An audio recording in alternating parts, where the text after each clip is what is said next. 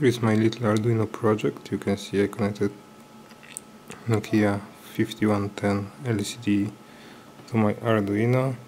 There is a timer, second progress bar, a little nice project. You can find source code on GitHub and more details on my blog.